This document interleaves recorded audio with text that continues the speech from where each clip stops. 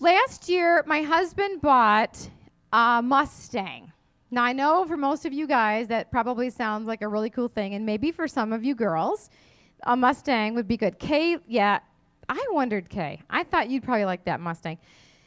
And I do too. I love Mustangs. I think they're really, really cool. But what I what I thought would be really interesting, you know, it's a stick shift, and it's a Shelby Cobra GT500 Mustang, by the way, which was really, really cool. And I didn't want to try to learn how to drive a stick shift on this car because it's it's a it's a nice car, you know.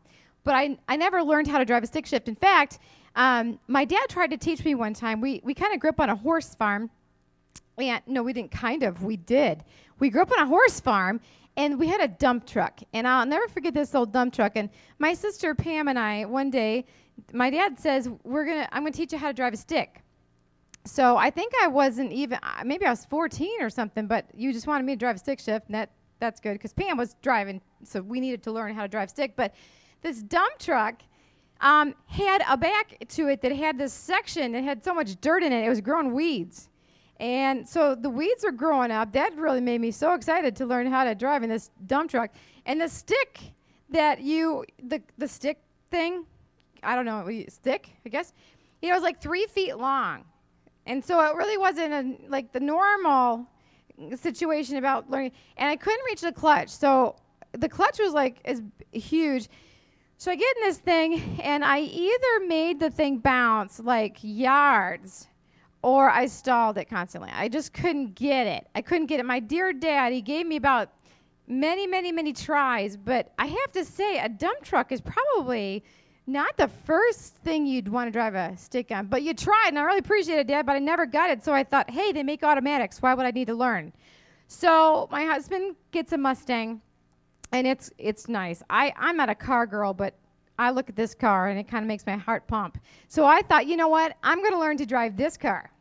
And how hard can it be? I'm a pipe organist from way back. I play toccata and fugue in D minor with two hands and two feet, and I can rip with both hands and both feet. It did that way before I started to sing. So I'm very coordinated, and I thought, how hard can it be? well, the entire vicinity of Granville has now seen me stall in front of their driveway uh, too many times to number so that I won't go out anymore because I'm beyond embarrassed.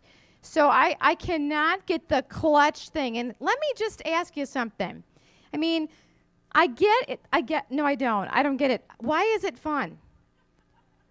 I have to do the clutch and then at the same time sort of sort of feather it so that the you know it's got to be just right or I stall or the thing you know jumps and does all that and we and Taylor's in the back laughing her head off and mom's trying to so I kind of named myself Mustang Sally because every time we get in and I go okay Mustang Sally's going to try last time I tried I was really ill and I tried, and I was too sick, and I got out of the car, and I said, I'm done. So um, I'll try it again, honey. I really, really will. But my, my question to you is, what is the fun of it? Because in my automatic, I can do many, many things. I can put my lipstick on if needed, and talk on the car, and hand a little snack back to Taylor when she needs it. She needs nourishment. How could I possibly do that with a clutch and all that. I don't get it. I don't get the fun of it, but I'm, I'm starting to learn and I will. I truly will. And so you're going to see me ripping down Wilson Avenue with the Shelby Cobra GT500 pretty soon here, as soon as I can learn to drive it.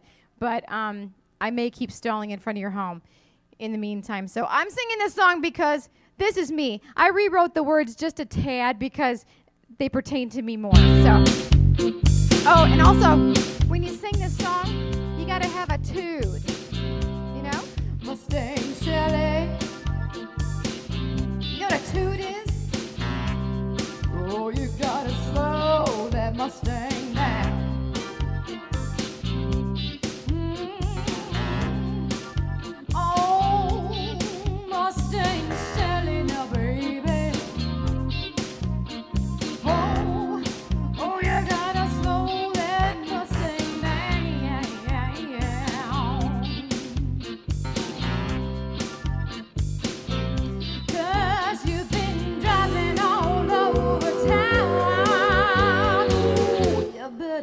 put your flat, flat feet on the ground.